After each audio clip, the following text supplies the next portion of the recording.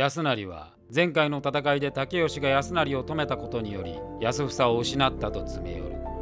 竹吉は安房の思いを無駄にしないために安成を止めたと説明する。再び魔界衆の前に現れる真田大輔大輔は日野閻魔の血を奪うため魔界衆を襲う。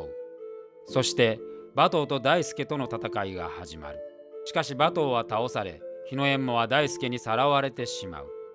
さらにルイス・フロイスが現れ軌道丸をさらおうとするがそこに切り隠れ才蔵が現れルイス・フロイスと切り隠れ才蔵の戦いが始まる。馬頭とジライアも才蔵に加勢しなんとかフロイスを撤退させることに成功する。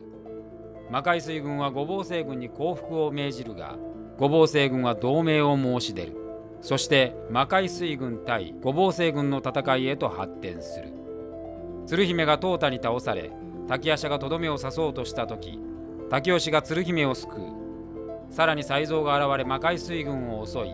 その際に竹吉は足に深い傷を負ってしまうのであった。魔界水軍は再び黒魔術軍を裏切り高山右近を襲撃する。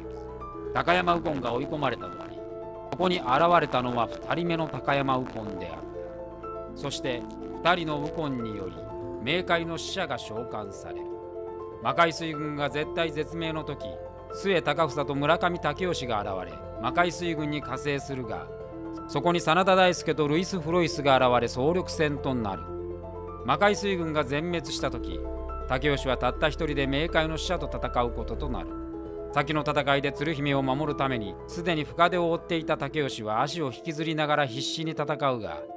最後には大輔ルイス・フロイス冥界の死者に切られ絶命してしまうのであった。